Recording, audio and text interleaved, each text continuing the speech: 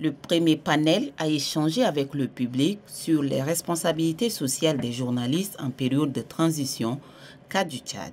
Face à l'assistance, Rakis Bongo Gérard et Laura Gondier. Les conférenciers ont fait savoir au public que beaucoup de choses manquent à la presse tchadienne dans le traitement de l'information.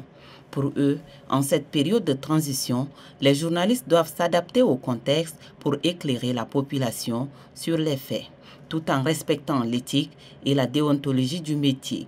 La différence dans le traitement de l'information et même des journalistes dans les organes publics et privés ont été évoquées par l'assistance. Les panélistes ont souligné que dans certains cas, la ligne éditoriale de chaque organe lui impose des directives dans le traitement de l'information.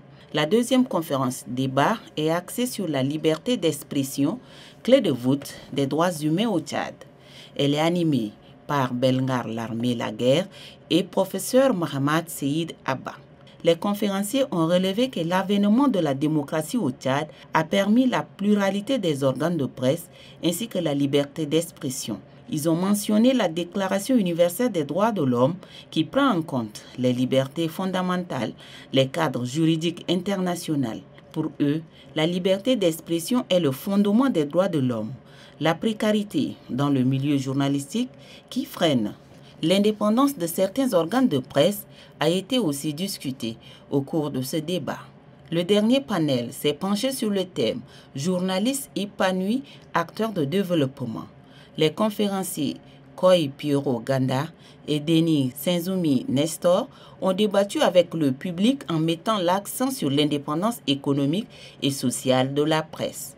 Les panélistes ont fait comprendre à l'assistance que la presse tchadienne éprouve d'énormes difficultés dans son épanouissement, entre autres le manque de moyens financiers pour faire des enquêtes et investigations, le manque de formation des journalistes ainsi que la non-application du SMIC dans certaines entreprises de presse privées.